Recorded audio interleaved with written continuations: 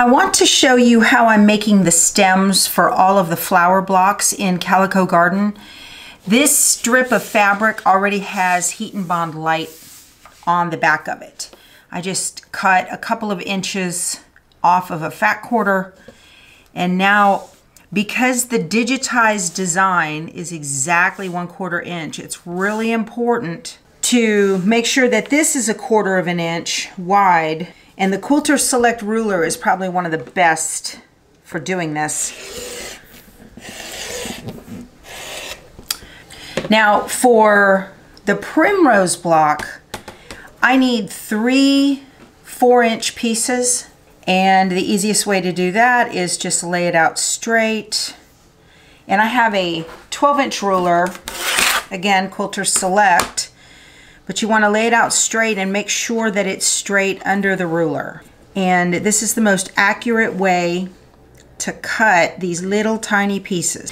I'm gonna cut the 12, so there's my 12 inch and I've got a little bit left, all right?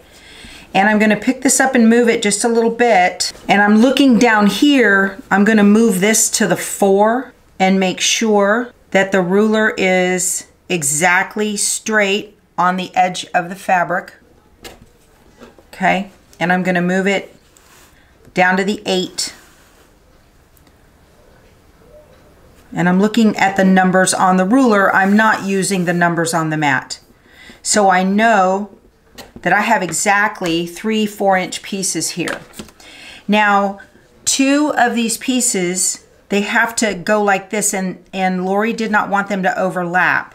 They need to be cut at a 45 degree angle. So I'm gonna lay one face up and I'm gonna lay one down exactly on top of it, face down, and I'm gonna use the 45 degree line, the dotted line on the ruler. You probably, I'm putting the 45 degree line on the bottom edge of the fabric and I'm putting the point of the ruler on the point of the fabric.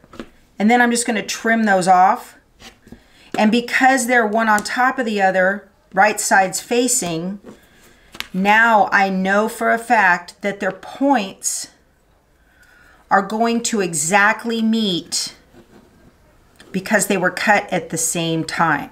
So that's, that's what you're looking for to make that happen.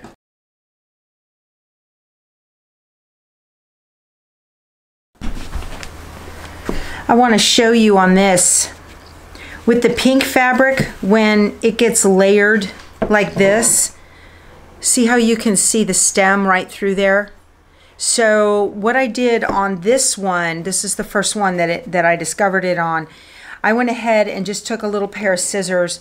Because this had not been tacked down with the blanket stitch, I was able to just pull it up from the adhesive and I trim this off. But I can still see the thread through here. Maybe you can't, but I can. I can see the thread. This is Sulky's Tear Easy and it's pretty sheer. I'm going to fold it in half I'm going to run this placement line again. And then when I put this over it, you can barely see the green lines. Okay, now I'm going to tear this away from the stitches. Now let me iron down this on top of that. Oh yeah, that looks a million times better. And that easy tear it will not affect the embroidery applique at all. So here's the difference. You cannot see that stem up here through through here at all. Look at it on this one. See the stem right through the fabric? You don't want that. You want it to look like that